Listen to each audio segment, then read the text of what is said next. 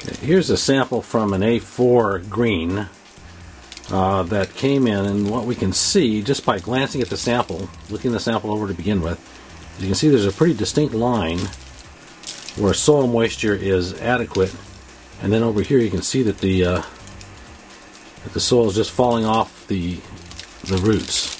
It's quite a decent thatch layer in there, but it looks like uh, there's a little bit of decompression compression in here that you can see is possibly the result of fairy ring. So it looks like we're going to see fairy ring.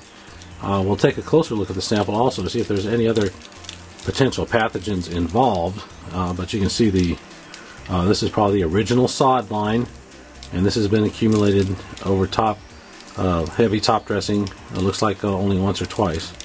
It looks like a pretty dense layer of, uh, of thatch, and possibly what we can see from the top here is a fairy ring.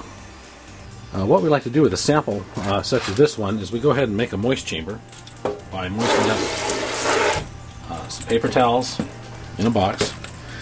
And then we also want to re-wet uh, the area where we suspect the fairy ring is located.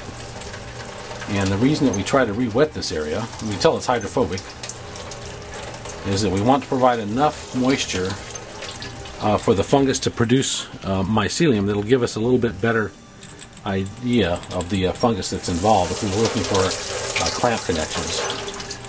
And you can see also at the top of the sample there's a little bit of a degradation of the thatch in this area right here compared to the area right adjacent to it. So then we'll wait for another uh, 24 to 48 hours and we'll we'll check the surface of the plug and we'll look and see where we can see if if and where the mycelium might show up. Well, after 48 hours of incubation in that moist chamber, we were able to see some mycelial growth right around the thatch layer.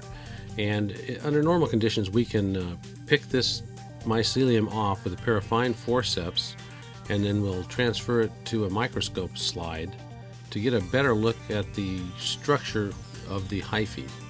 Here we are pushing the uh, mycelium off onto the microscope slide and then we'll uh, come in after we get this finally transferred over there and place a cover slip on top of the uh, hyphae and then we'll be able to take a closer look at the uh, mycelium that we see in there. So here comes a cover slip, there it goes, flat.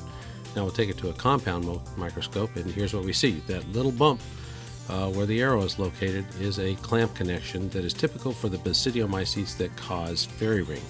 And here's just another look at a, a piece of mycelium that has been broken off, and you can see the structure of that clamp connection. Refer to the links associated with this update for additional information on management and control of fairy ring.